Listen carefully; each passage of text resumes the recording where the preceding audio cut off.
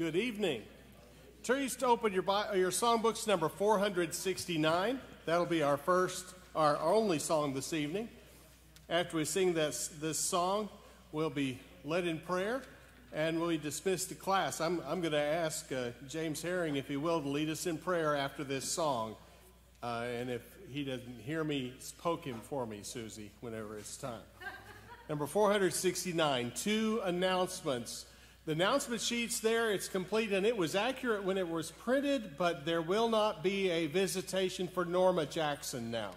And so, no visitation for. That's wrong. Okay. Six to eight tomorrow?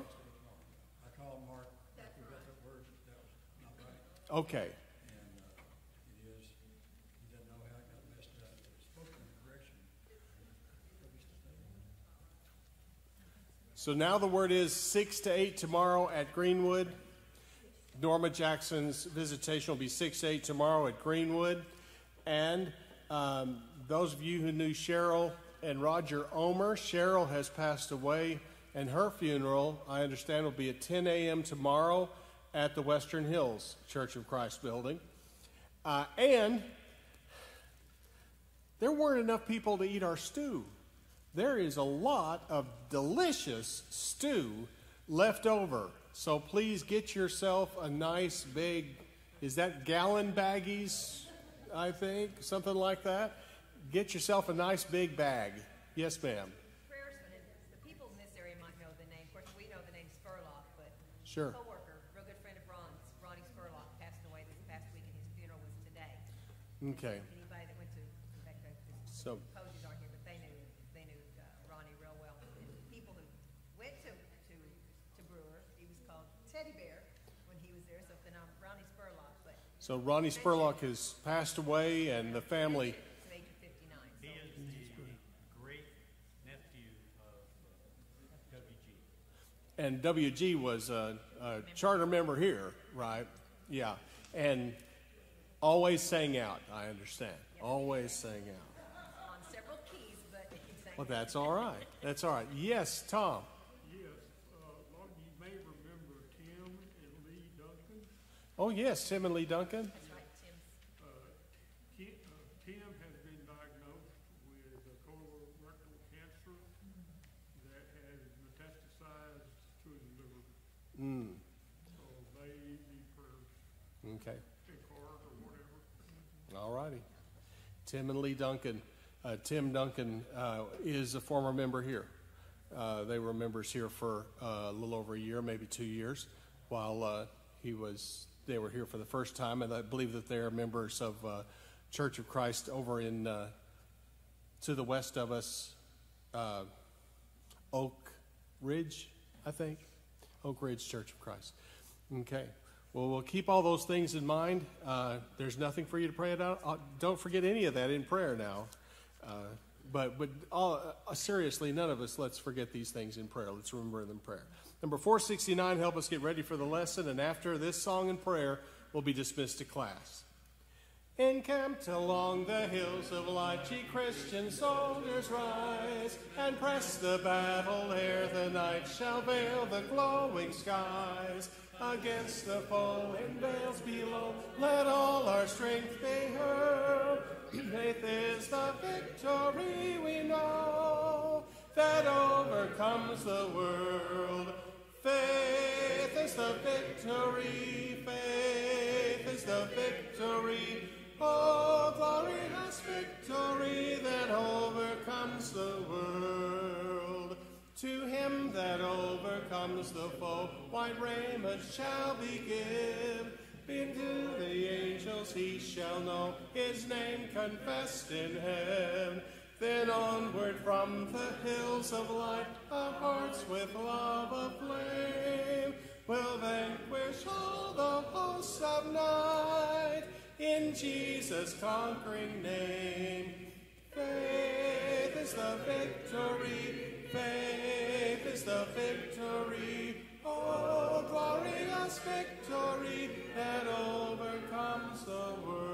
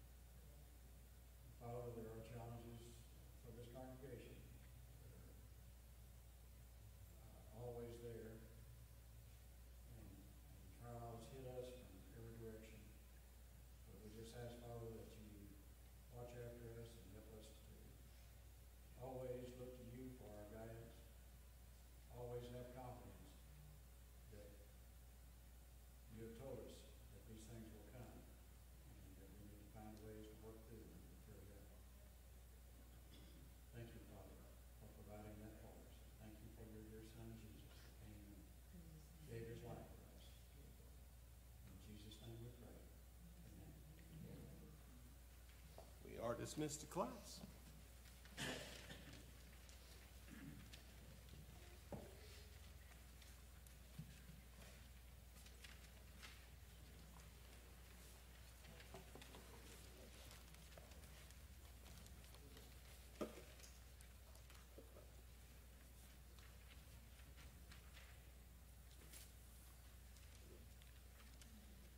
Me invite you to turn to Romans chapter 3 this evening, cha- chapter 3 of the book of Romans, beginning at verse 21. We'll be there in just a moment. Make sure you have a handout for the lessons uh, this evening. This is lesson number five in our series on faith and doubt. It's a series that uh, has been authored by Roger Shiflett, and we appreciate Roger putting this material together and that we can consider studying it this evening.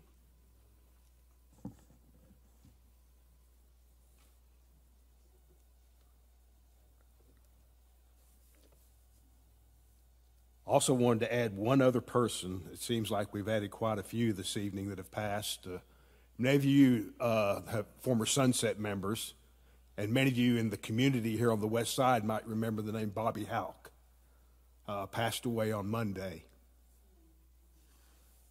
And saw that on Facebook, I believe it was Tuesday, yesterday, posted by one of the boys. Uh, Bobby, pardon? Yes. David and Darren. He was the owner of City Roofing and uh, attended Sunset. He attended Western Hills and uh, was very involved. Uh, before we had youth ministry, youth ministers, we had men like Bobby Houck. So he was he was very good.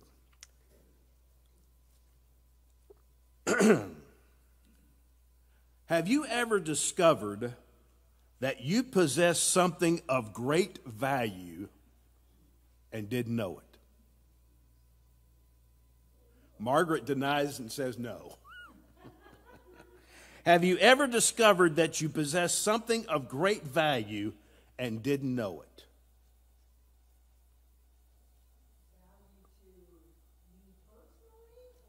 Okay. Yeah, possibly. I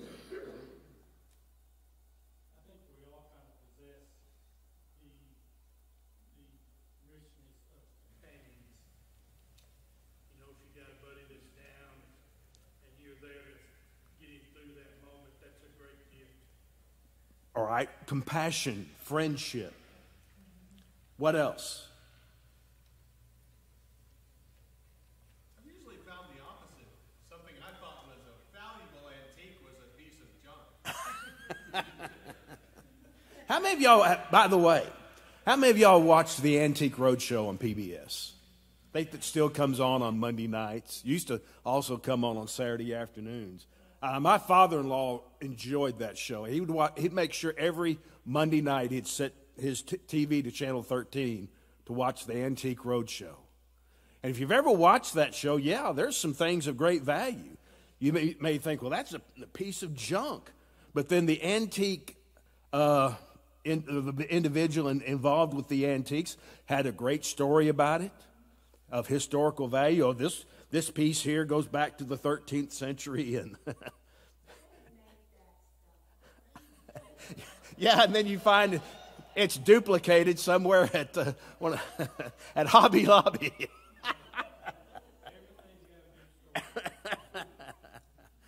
uh, but I'll go back to what Ronnie said a moment ago about our companionship and friendship that we have with people. How does that make you feel?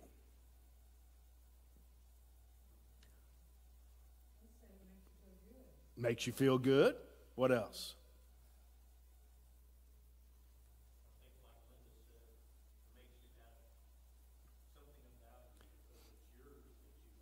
That's right. Something of value that's yours, that you uh, uh, can enjoy and possess over the, over the years.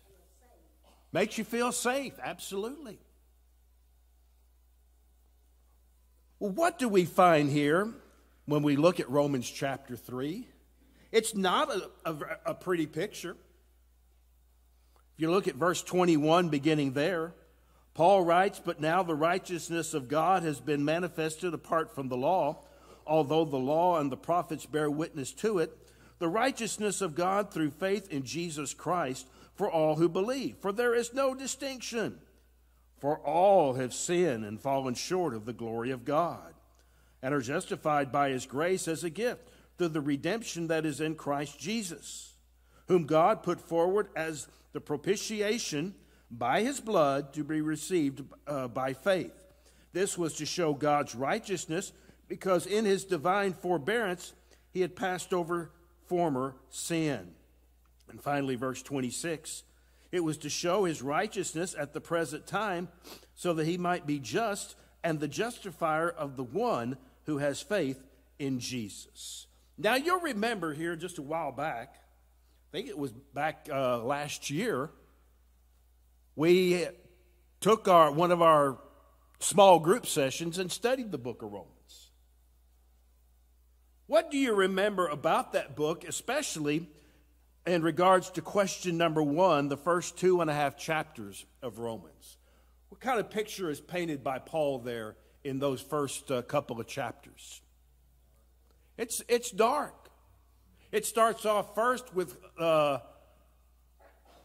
those being condemned, being the Gentiles, but then the Jews are, are, are saying, well, look at them, look at us.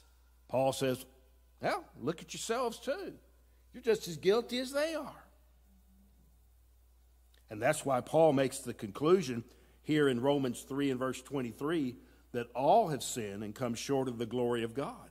And then he says later in Romans chapter 6, what? Regarding sin. The wages of sin is death. So Romans is not a pretty picture. What's the basic message Paul is relating to here not only from the first two and a half chapters of Romans, but also from what we just read here in Romans 3 and verse 23. What's the truth we find there? We're all guilty. Now, what's the difference in that and what some religious people are saying today that you're born into sin? Where do we draw the line there? Sin is an action. Can a little infant sin? No. And you think about these young children today. What they do, they don't know what they're doing. When do we understand what sin is all about? Is there a time, a certain period in our life that we understand and realize what sin is? Pardon? As soon as you learn about it. What do we call that? The age of accountability. It is. We have some today that are mentally challenged that may not understand that, may never understand it.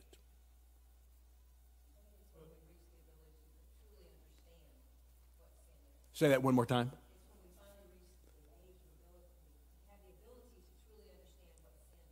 The ability at the right at that time to understand that.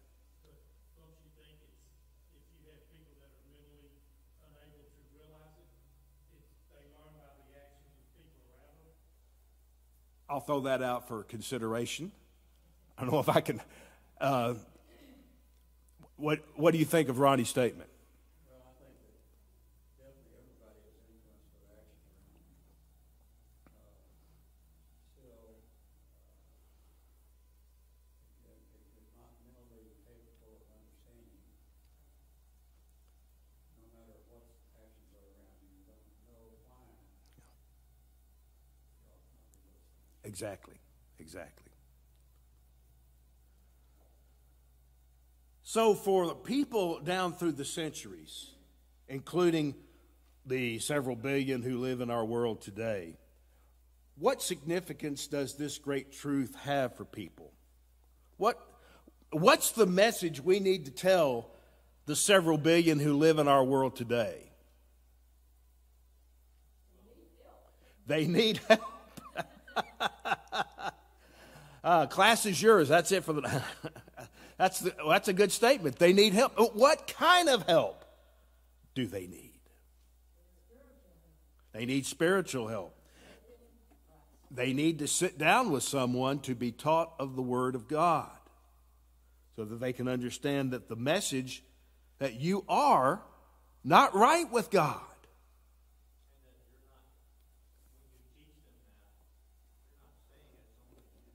Yes. Yeah, I would tell that same person, hey, I was in your shoes, and I, I still am in your, your shoes today. We still sin, exactly. So, what, what's the message that they need? They need the gospel. The, what is the gospel? The good news, but also the death, burial, and resurrection of Jesus Christ. I thought some of our students would pop up and answer that question.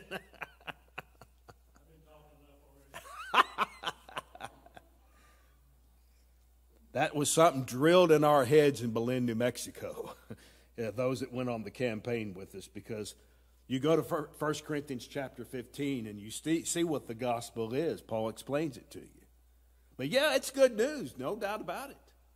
To know that Christ died for my sins, that he died and was buried and he rose again. That's good news. So look at, let's look again at verse 26 here in our reading tonight, Romans chapter 3. Look at that verse again. Paul says it was to show his righteousness at the present time so that he might be just and the justifier of the one who has faith in Jesus Christ. Now, look at your question. Given that sin is universal and sin has consequences, what dilemma does that pose to a loving and holy God?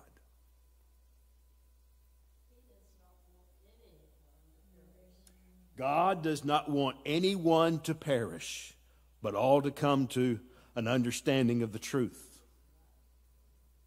What else?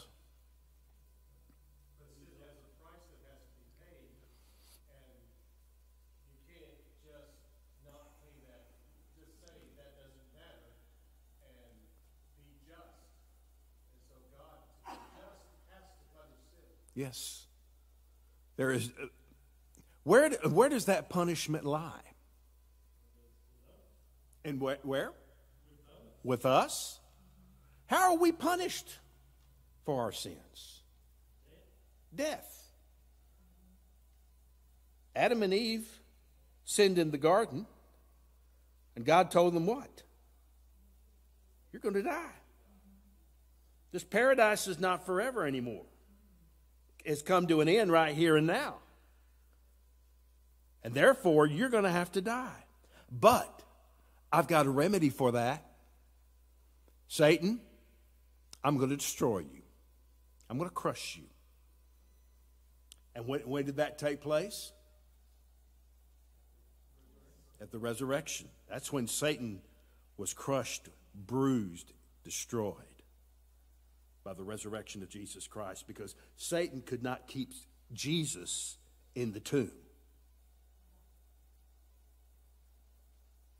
So we have a loving and holy God who does not, as Margaret said, does not want any man to perish, but for all to come to the truth.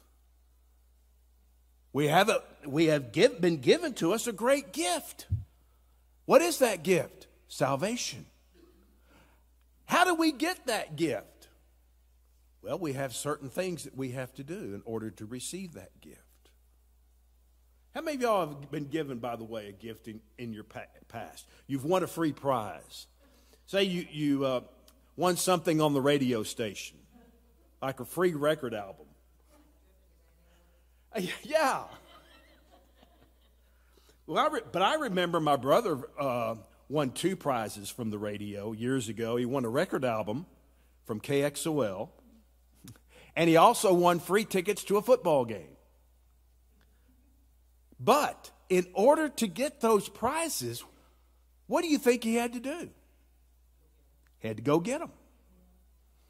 Nowadays, they mail them to you or something like that. But in the past, you had to go uh, and meet the obligation of picking up the prize in order to receive it. So there are sometimes, in order to receive a gift, certain stipulations. To receive salvation, there are stipulations. Those stipulations are what?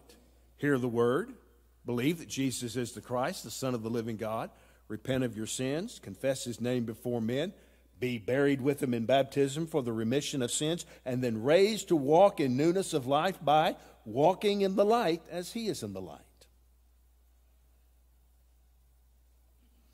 Look at number three. and if you do, go back, we'll go back to verses 21 and 22. How does Paul introduce to us God's dealing with the problem of salvation? Go back to verses 21 and 22. What's the dilemma here?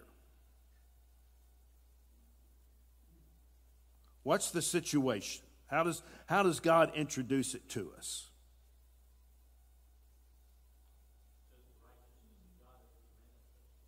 The righteousness of God has been manifested. And what's that word manifest mean? Pardon? It's been revealed, it's been made known. How does the law and the prophets testify to God's righteousness? Let's take it one at a time. Where do we find God's righteousness revealed through the law? Yes, number one, sin is identified. Again, a need for a remedy to that as early as Genesis chapter 3 and verse 15. Where else do we see that through the law?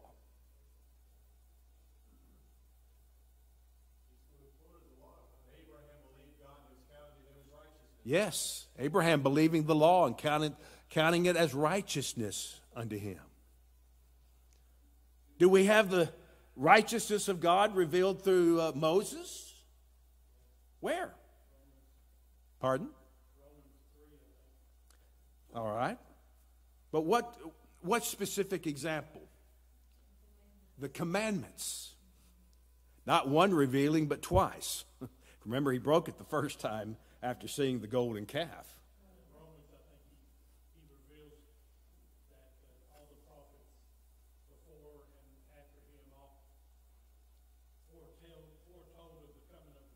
All right, and that brings us to our next uh, part of this the prophets. Isaiah, for example, Isaiah 53 is a good example. What, are, where do, what do we find in Isaiah 53? By the way, it's also revealed for you in Acts chapter 8. The lamb that is led before the, the slaughterer, the sheep before the shearer. Philip the evangelist taught the Ethiopian eunuch from that scripture.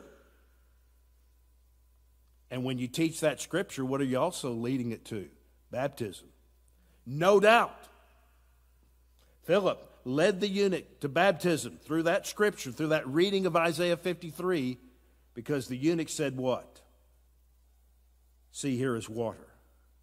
What doth hinder me to be baptized? Philip said, If you believe, you may.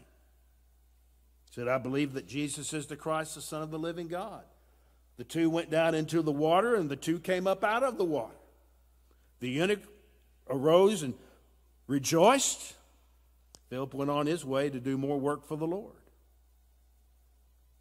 But even the prophets reveal the righteousness of God. So, look again at verse 22, because that'll be for our, our, next question here under number three. Go back to ver, uh, verse 22. The righteousness of God through faith in Jesus Christ for all who believe, for there is no distinction. So, the, the question here is this Where must God's righteousness and man's faith meet. It's got to meet somewhere. It's met through Christ. Because Christ then and therefore becomes the centerpiece of the whole picture. God, in his righteous love toward us, sent his son Jesus to die on the cross for our sins. We must have the faith to believe that. Hebrews 11 and verse 6 tells us what? Without faith, it is impossible to please God. For we must believe that He is a what? That He is, and that He is a rewarder of those who diligently seek after Him. That's where it meets. It meets right in the middle with Christ. So there's that word that we see here in, in our reading tonight, and it's in verse 25, by the way. Paul writes, Whom God put forward as a propitiation by his blood to be received by faith. God set forth to be the propitiation for our sins. What is that word? What does it mean to you? What is propitiation or a, I'm not going to try to say it, I may bungle it, a propit, propitiatory offering. best, best I could do. But what, is it, what does that word mean? Appeasement, all right?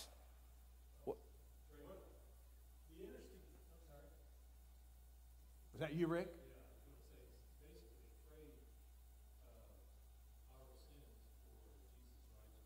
A trade off. Our sins versus uh, in, in, in lieu of what? Okay, it's a solution. Yes, I was trying to get Rick to finish his statement there for me.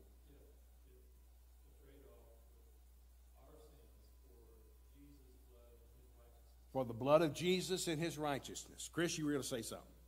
This word, every time the word, the mercy seat is mentioned in the Old Testament, this is the word that was translated in the Septuagint version every time. Wow, yes. So this is the mercy seat of God. The mercy.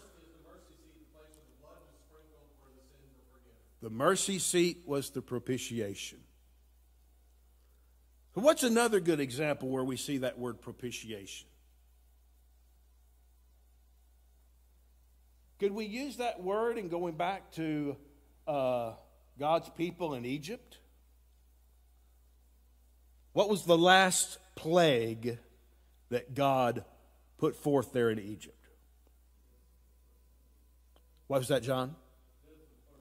The death of the firstborn. In order for the Jews to have been spared of that, what did they have to do?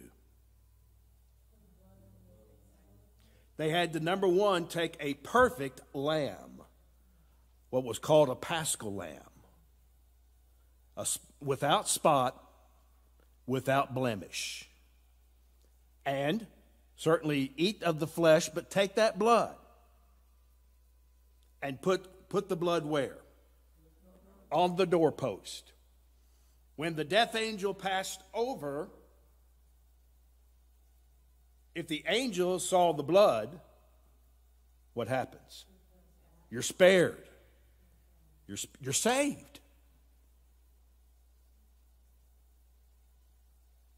We could see that in, in a similar vein as to what we're talking about here, I think, in, in question number four. There's another example. Hopefully, it's to what we're talking about here. You remember what happened when Moses were, were with the people and they were sinning and they were being bitten by vipers, the poisonous snakes? What was the solution there? What was the remedy there?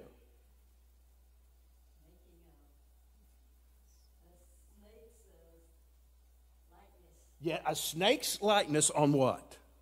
A brass pole. Put that on the pole.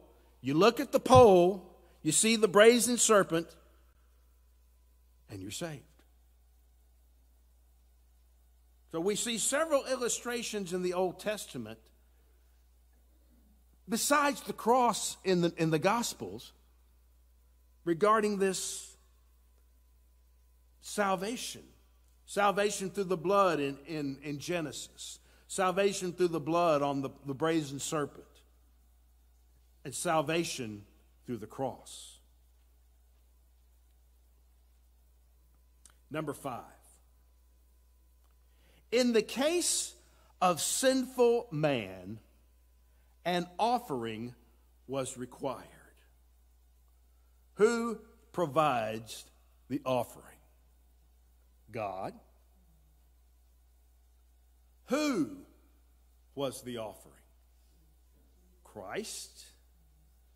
To whom was the offering offered? All right. What does Paul call this in verse 24? Say that again. Redemption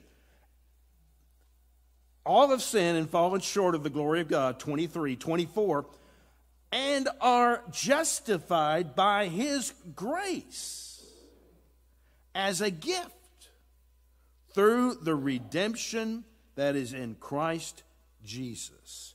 Redeemed, how I love to proclaim it, redeemed by the blood of the Lamb, redeemed through his infinite mercy, his child and forever I am. God has given us redemptive qualities. God provides, provides the offering. Who provided the offering for uh, Abraham and Isaac? You remember? God did. Notice there, notice at the cross, God provides the best offerings. The offering was Jesus Christ. It couldn't have been just any man off the street.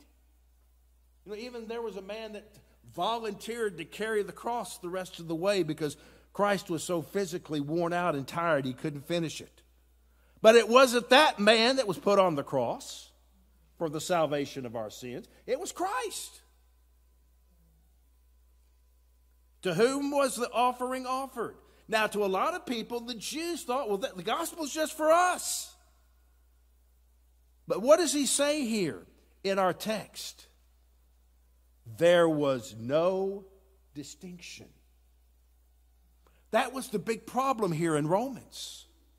Was for those within the church that thought, well, it's just the Jew only that's receiving the gospel. No. The Gentiles just as eligible for that message and that gospel. Go back to Acts chapter 10. Who was the first Gentile convert? Cornelius, a Roman. And from that point forward, we see more and more Gentile converts.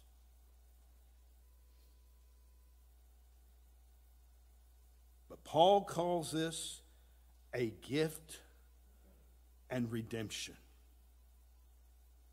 Through the redemption that is that is in Christ Jesus, whom God put forward as a propitiation by his blood to be received by faith. Salvation through faith. What role are you seeing here in this lesson tonight that faith is playing in regards to our salvation? How important is that faith? Very. Very important in what way? Again, absolutely. Without it, you're, no, you're going nowhere. Without faith, it is impossible to please God. In what sense has God passed over sins? That phrase, passed over, we saw Passover in the book of Genesis when the lamb passed, or when the angel passed over and saw the blood on the doorpost, there's safety, security. What has God done here in passing over sin? Through the blood. How important is, is it for us to have the blood of Christ? God shed his blood. We are washed in the blood of the Lamb. No, I don't see blood in that baptistry back there. All I see is, is water, H2O. What is that water and that blood? What's the relationship?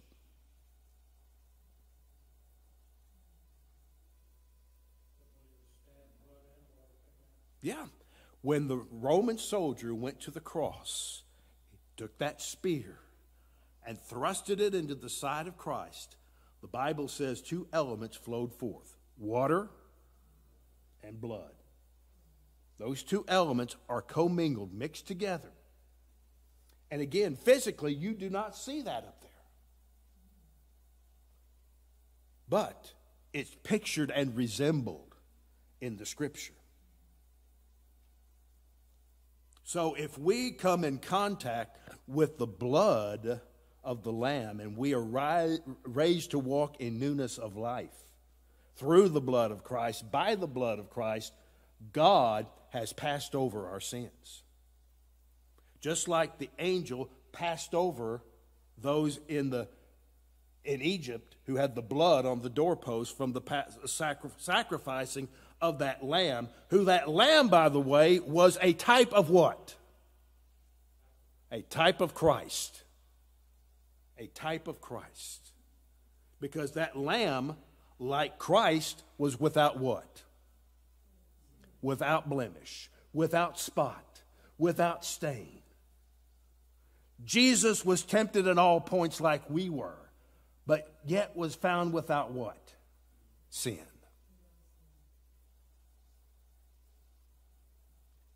Part two of the question here, number six. By its very nature, what does sin deserve and require? What do we all deserve here tonight, sitting in this auditorium? Death. What does sin require? It requires forgiveness. It requires a remedy. Sin is what? Could we say sin is a disease?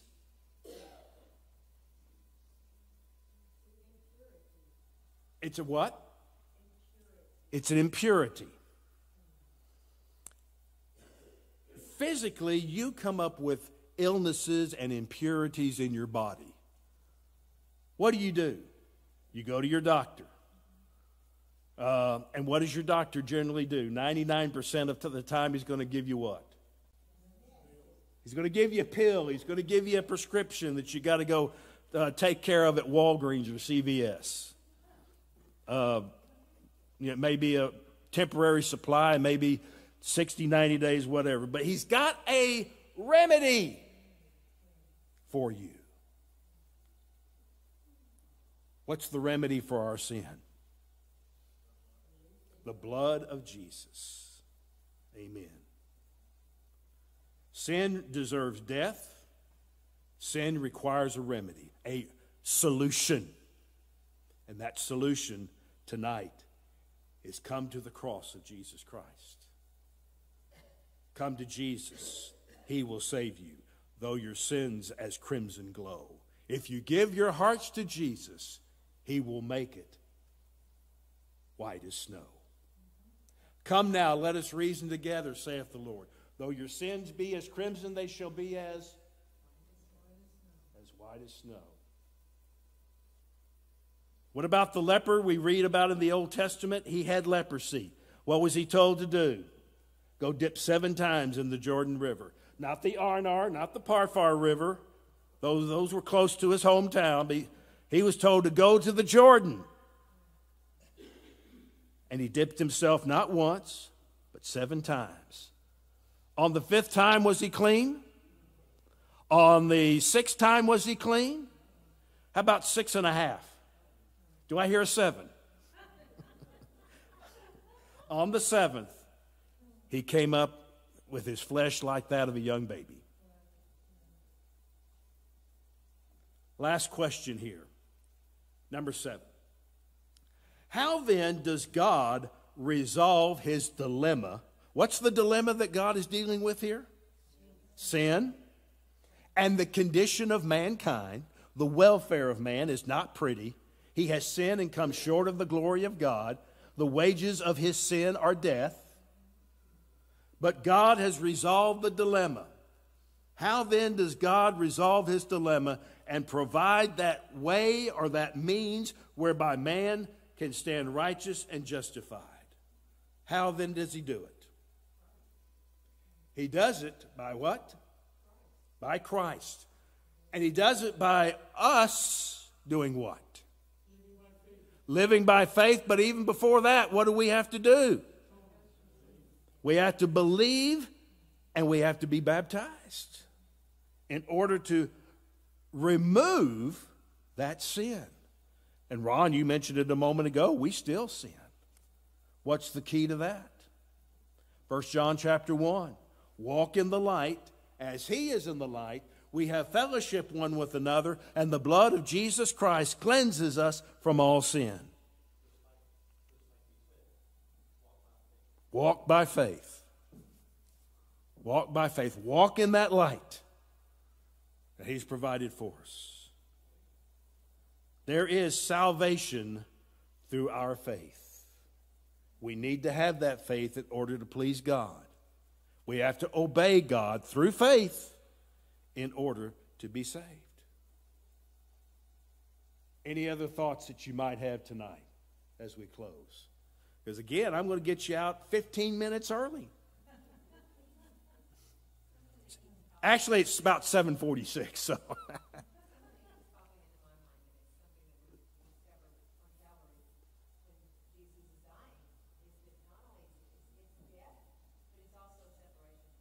Yes.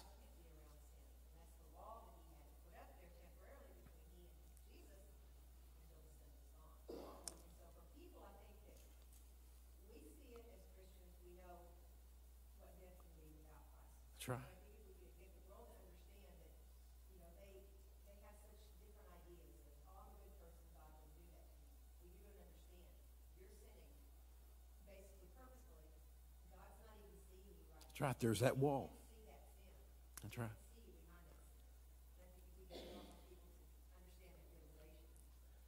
I remember, and, and everyone here in this room will remember because it's happened in your lifetime, two things. Number one, after World War II, uh, there was the decision made to build a wall in Berlin and separate the two, East and West Berlin. And, and it was that way through the 80s until President Reagan told Gorbachev to do what? Tear down this wall.